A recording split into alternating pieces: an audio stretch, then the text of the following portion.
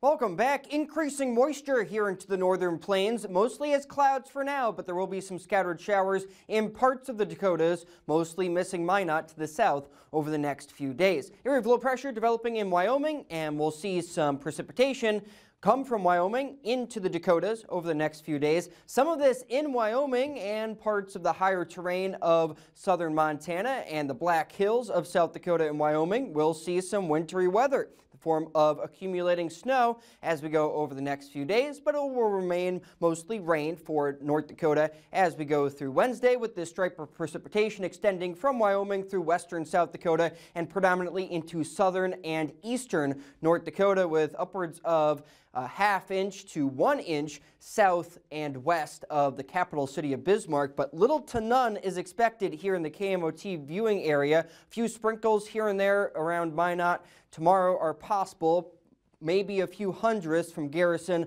up through Drake, possibly upwards of a tenth near Harvey as most of the moisture misses us to the south and east. But these scattered showers will be on the increase for southern North Dakota as we go into tomorrow morning. The mostly cloudy sky will be in place region wide. We'll see overnight lows tonight mostly in the 30s to around 40 degrees. Highs only in the 50s tomorrow, so cooler weather settling in with those off and on showers in southern North Dakota. The showers increase in coverage mainly south of I-94, whereas for us along Highway 2, we remain mostly dry as we go through Tuesday evening and Tuesday night in southern North Dakota with temperatures dropping down into the 30s, some of those rain showers could have a few snowflakes mixed in. We need moisture in any form around here, especially 40 days since we had a day with more than a tenth of an inch of rainfall. Last time that happened in Minot was more than a month ago on September 18th. Temperatures tonight will be dropping down into the mid to upper 30s, and we'll have that cloud cover sticking around as we start tomorrow morning.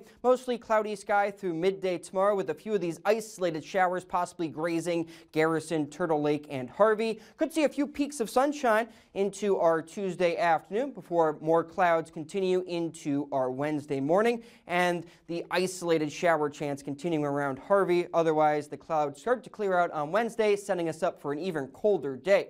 High temperatures tomorrow with the mostly cloudy sky will only top off in the low to middle 50s. 55 is my forecast high in Minot, then only 43 degrees in Minot on Wednesday. Low to middle 40s region wide for the middle part of our work week below normal temperatures on the way, but back to around seasonable levels for Halloween on Thursday, 40s to about 50 degrees. Then by trick-or-treating time, upper 30s are in the forecast. Some spooky stats for you for Halloween in Minot. Record high temperature, 76 degrees. Record low temperature, minus 1 in 1919. Record snow at 8 inches in 1919 as well. Last year was a cold Halloween with highs in the 20s and lows in the single digits. More seasonable temperatures for Halloween this year.